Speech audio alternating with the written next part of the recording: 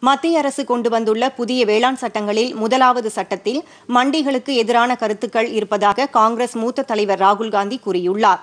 மக்களவையில் பட்ஜெட் மீதான விவாதத்தில் பங்கேற்று பேசிய அவர் வேளாண் சட்டங்களை உள்ளும் புறமும் முழுமையாக ஆய்வு செய்ய வேண்டும் என்றார்.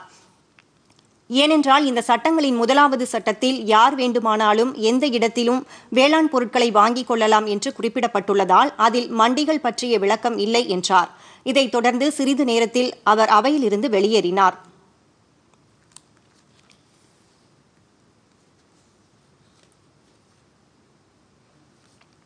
ராகுல் காந்தியின் பேச்சை தொடர்ந்து பதிலளித்த நிதித்துறை இணையமைச்சர் அனுராக் தாக்கூர் உறுப்பினர் ராகுல் காந்தி பட்ஜெட் பற்றி பேசிவிட்டு மற்றவர்கள் பேச்சை கேளாமல் வெளியேறியது ஏன் என்று கேள்வி எழுப்பினார்.